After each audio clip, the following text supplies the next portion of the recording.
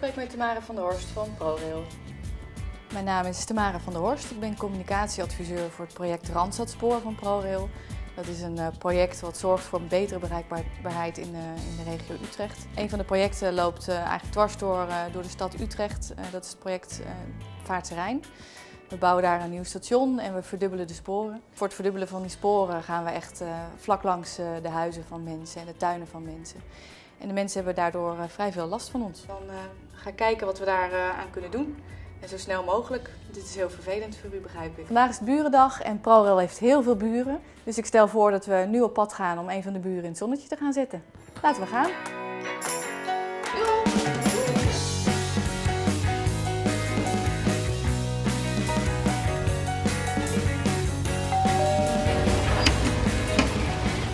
Hallo. Dag. Ik ben van ProRail en uh, omdat het burendag is en nu uh, een dichte buur van ons bent, wil ik u uh, graag een taart aanbieden. Oké. Okay. Alsjeblieft. Dankjewel. Waar heeft u zo al last van? Wat, wat, Nou, op dit moment is het vooral dat ze erg vroeg beginnen. Ja. Dus iets voor zeven, dan is het, ja, dan word je gewoon wakker van lawaai. Ja. Hoe verloopt het contact met ProRail?